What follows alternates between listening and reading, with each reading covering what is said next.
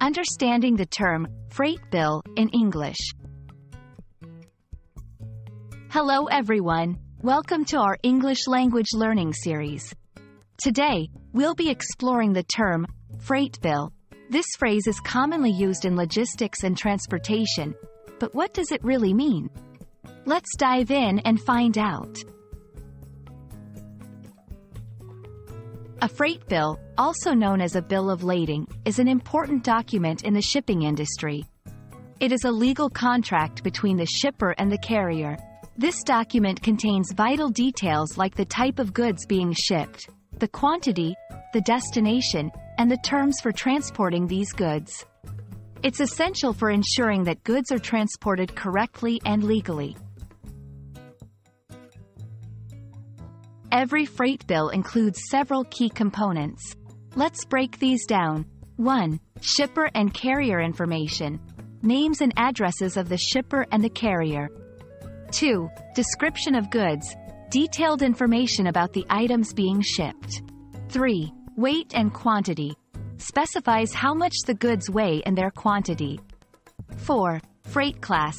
Categorizes the goods based on size, value, and difficulty to transport.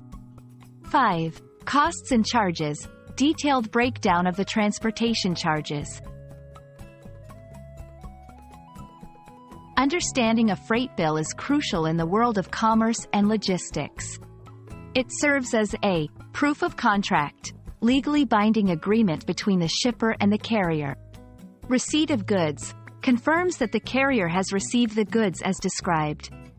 Document for dispute resolution helps in resolving any discrepancies or disputes that may arise during transportation. Let's look at some practical scenarios where understanding a freight bill is vital. Scenario 1. A business shipping electronics to another state. Scenario 2. An individual sending a large piece of furniture cross-country. In both cases, the freight bill ensures that the goods reach their destination safely and as agreed upon. I hope this video has clarified what a freight bill is and why it's important in the transportation and logistics sector. Understanding such terms can greatly enhance your English language skills, especially in professional contexts. Thanks for watching, and I hope you found this helpful.